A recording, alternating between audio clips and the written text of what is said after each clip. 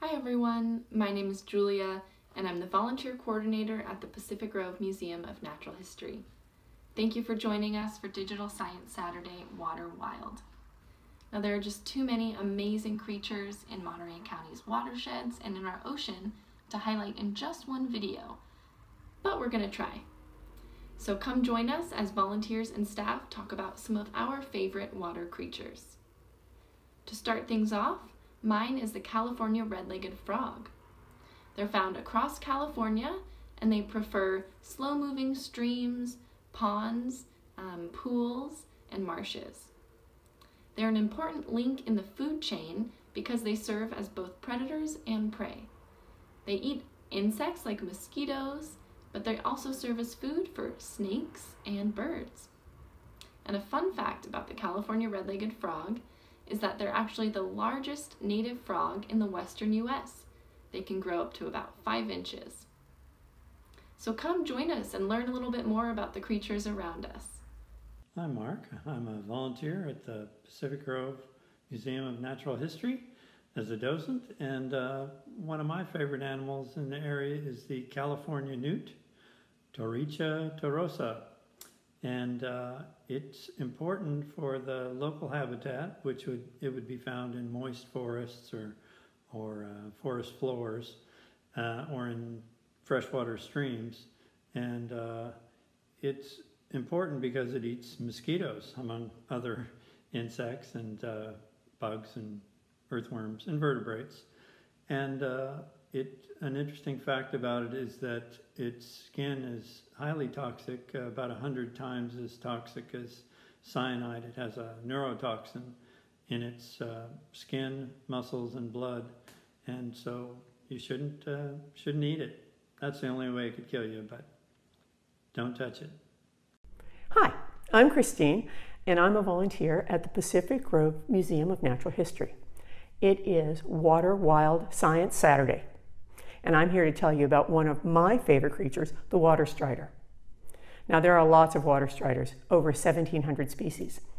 Water striders are slender, that means skinny, predatory, that means they eat other animals, insects, you remember insects, three body parts, head, thorax, abdomen, three pair of legs. The front two hold on to the prey, usually mosquito larvae. The middle two row and propel them across the front of the water, and the back two steer and brake. They have antennae, and some even have wings. They are very, very cool. They can skate on top of the liquid water, and that's why they're my favorite. So where the air and the water meet, that's called surface tension. Surface tension is where the water molecules are packed tightly together, and that allows light objects to float right on the surface. You've seen it. Feathers in puddles, leaves on top of water, and the water striders skate on top. Most water striders live on fresh water. They live on ponds and puddles, in lakes, in creeks, but there are some species of water striders that live on the open ocean far away from the land. They eat old dead things that are floating at the surface. Now, we're going to try an activity together. You can do this at home.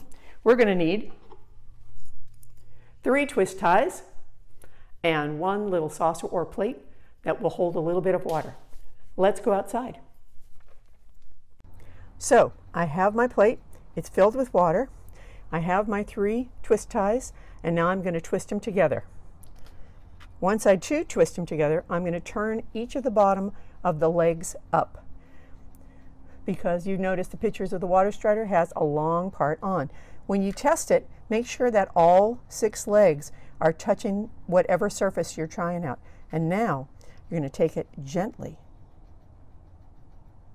and place it on the, on the surface tension of the water. You'll know when it's floating because you'll see the shadow of the, four, of the six feet right underneath the water. You can add googly eyes, the three body parts, whatever you like to augment your water strider.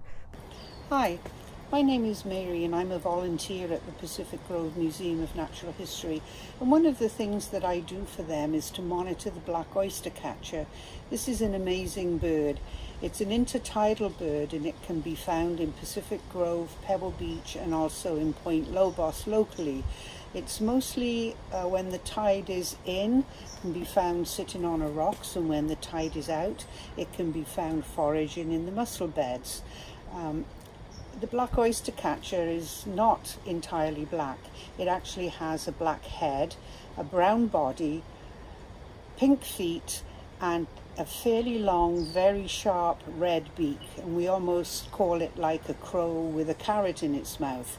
The other interesting fact about it is that it does not eat oysters. It eats mussels and limpets and clams and all the other interesting things that you find in the intertidal area when the tide is out. Um, once you've seen this bird, you'll never forget it and I think that you will also love it as much as I do. Thank you and have a wonderful day. Hello. My name's Bill, and I'm a volunteer at the Pacific Grove Museum of Natural History. And I'd like to share with you one of my favorite aquatic or water animals. Now, since we can't be at the tide pools right now, I brought a friend to take the place of a real hermit crab. Here you'll see Pagurus, that's the name of a hermit crab uh, and you'll see that he lives in a snail shell. He has 10 legs, two of them are large claws. He has two antennae and two compound eyes. Um, they live in the tide pools up and down the Pacific coast and around Monterey Bay. And here's the real size that their shell might be. They're much smaller and the ones you'll find around Pacific Grove uh, will be in a black shell called a black turban snail shell. And that's the primary shell they use for a home. And why do they have to use that shell? Well, if you look at this little figure, here's the shell. The hermit crab inside has a very soft abdomen. That's the back portion of its body. Uh, it's not protected by a shell like the rest of the crab. So he inserts that ab abdomen into the snail shell and that protects him in the uh, rocky intertidal. If you saw one in the rocky intertidal area in a tide pool, this is probably what it would look like. You can see them in there uh, with other tide pool animals like anemones in the fish. Uh, what these crabs help us do is keep that tide pool clean. They scavenge dead things um, in the tide pool, but mostly they eat the algae that grows there. I hope you enjoyed learning a little about the hermit crab.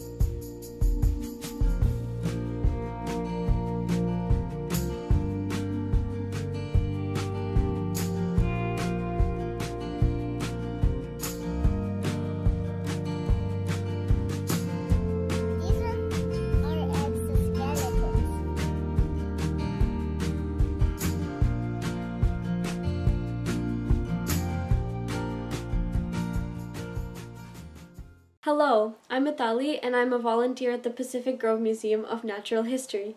Today, I want to share with you my favorite organism, the sea otter. Sea otters can be found along Pacific Ocean coastlines, including right here in the waters of the Monterey Bay. They are actually members of the weasel family and are often seen floating on their backs in the water. Otters are one of the few animals known to use tools. They like to use rocks to smash open shellfish to eat. Sea otters also have some of the densest fur of any animal to keep them warm in the cold waters of a habitat like the Monterey Bay. One of my favorite museum exhibits is where you can feel how soft their fur is. Sea otters are central to the ecosystem of the Monterey Bay. Unfortunately, we found this out the hard way. Even though the Ohlone people used sea otter furs to keep warm, the first Europeans to arrive in this area began to hunt the sea otter to extinction. In fact, a hundred years ago, these creatures seem to have disappeared for good.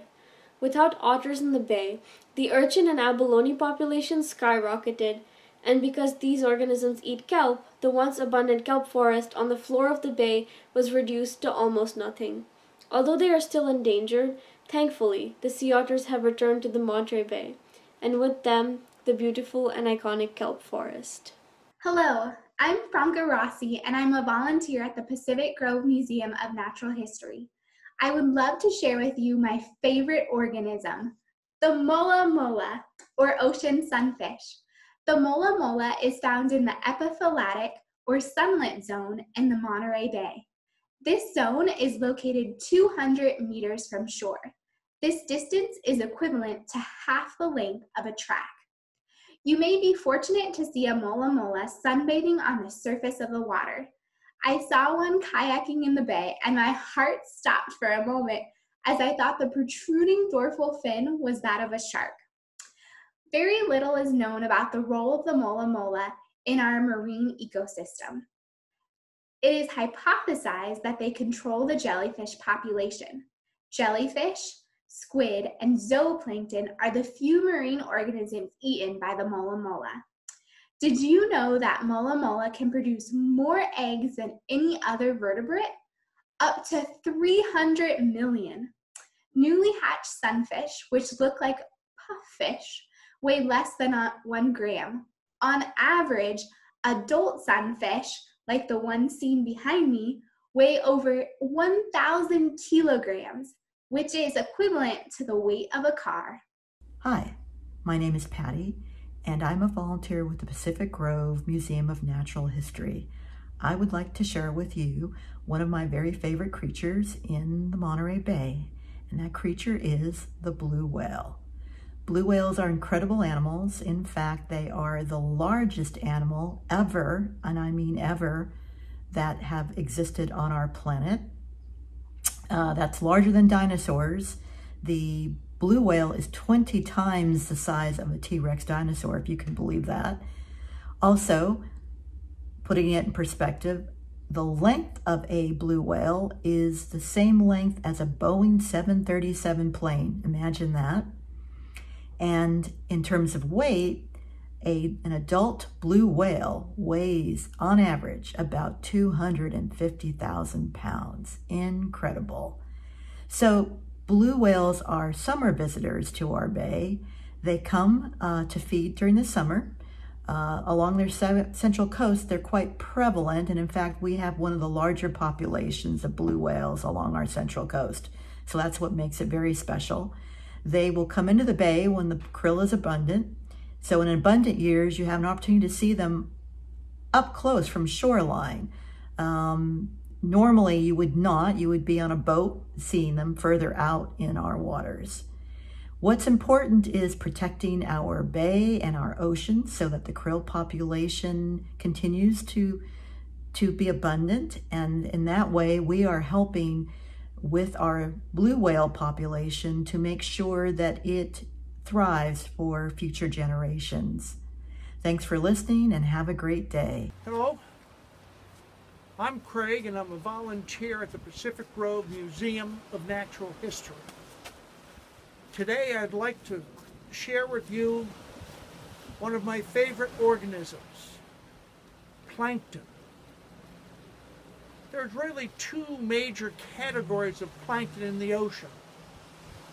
Phytoplankton, which are plant-like, and zooplankton, which are small animals and the immature stages of larger animals.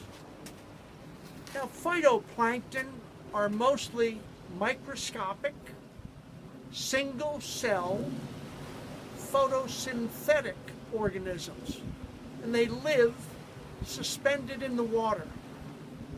And like plants on land, phytoplankton take up carbon dioxide, make carbohydrates using energy from sunlight, and then release oxygen. That's called photosynthesis. Now, phytoplankton produce their own food, which is why they're at the base of the marine food web.